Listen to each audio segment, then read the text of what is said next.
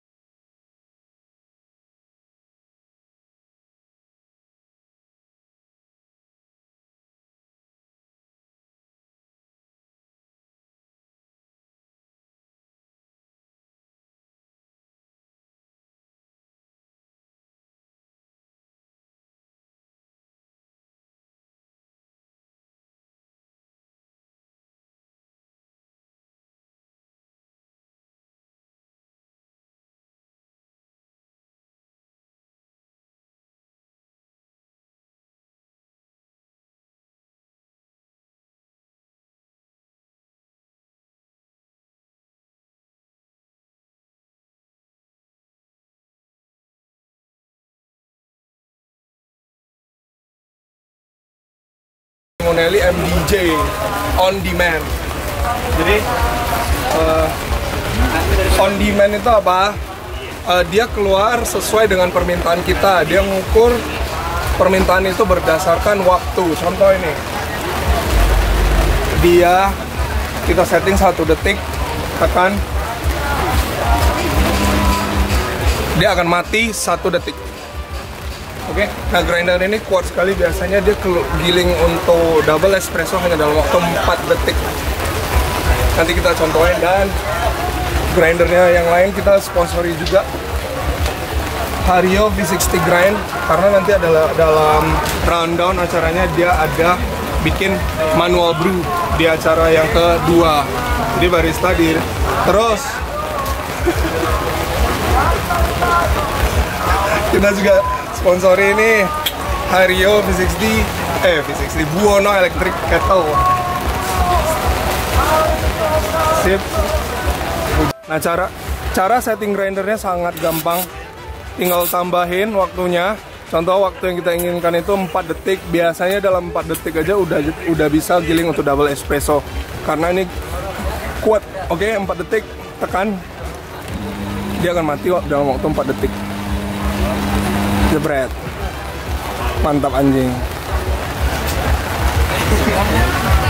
lagi sama salah satu juri kita Mira Harja say something Halo. Mas Vicky Halo guys, masyarakat Padang dan Sumatera Barat. nice to meet you. nah ingat Pak, dia brand ambassador juga untuk Tovin dan dia akan berpesan kalau Tovin ada di Sekarang Taufin udah ada di Riau dan Pekanbaru ya. Jadi untuk wilayah Sumatera Barat nih khususnya buat yang mau cari mesin terus bahan baku untuk powder, training segala macam alat manual bro. Jangan lupa cari Herman ya. Jadi langsung hubungin Taufin Riau sama Taufin Pekanbaru nih. Jadi jangan jadi cakupan jauh-jauh. cakupan kita ada di Pekanbaru, Sumatera Barat dan Jambi. Jadi kalau anda domisilinya di antara tiga kota itu, itu wilayah saya. Anda beli mesin sama saya, saya datang trainingin, menu development, Anda terima bersih, nggak tahu apa-apa, kita urus dari awal sampai akhir. Plus masuk YouTube-nya Herman. Banyak banget nih subscribersnya. Jangan lupa langsung beli ke Tovin Riau, oke? Oke.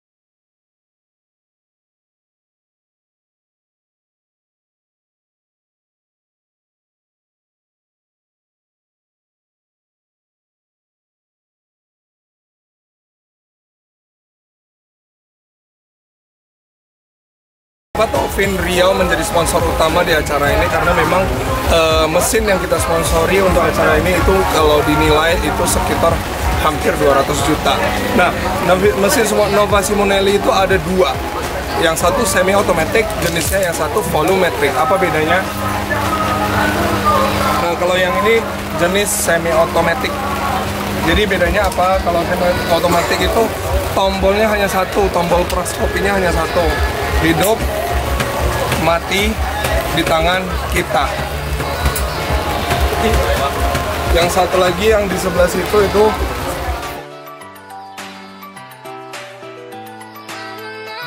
biasanya tuh mesin-mesin volumetrik itu tandanya tombolnya ada lima. Umumnya ada lima. Jadi selain bisa jadi jadi mesin semi otomatis dia juga bisa jadi mesin volumetrik dia bisa kedua kegunaan. Jadi hidup mati ada volumetriknya. Dan seperti biasa mesin ini mantap anjing. Ada lima. Yang satu hanya satu. Jadi supaya adil kita samakan aja. Yang empatnya lagi kita tutup karena mesin volumetrik dia bisa jadi dua.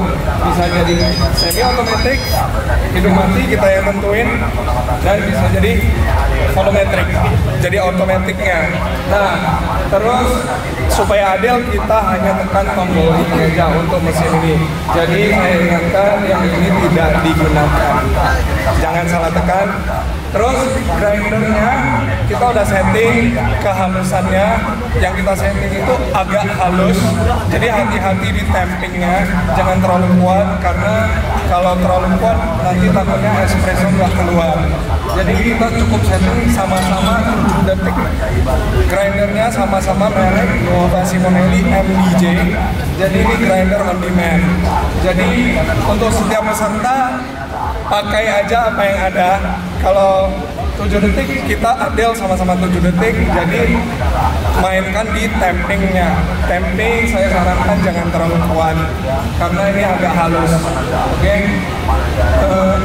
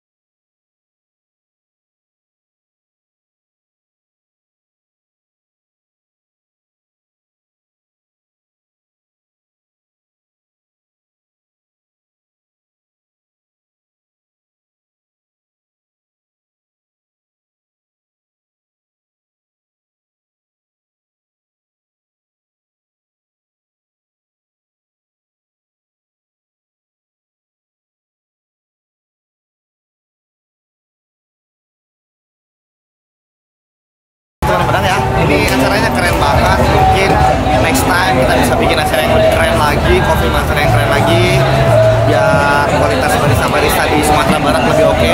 Jangan lupa mesinnya tetap pakai toffee kalau mesinnya bagus kita next pakai black eagle oke? Black eagle tapi kita sama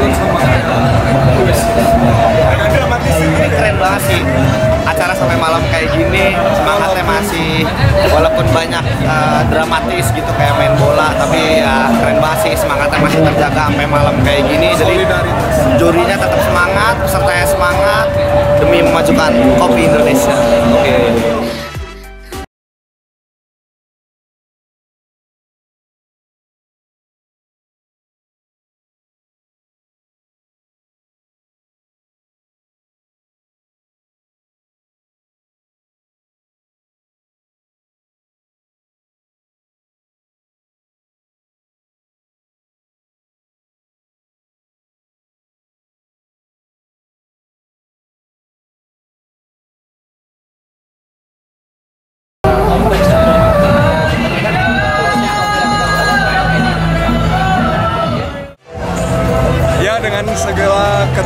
keterbatasan tapi acara tetap dilanjutkan.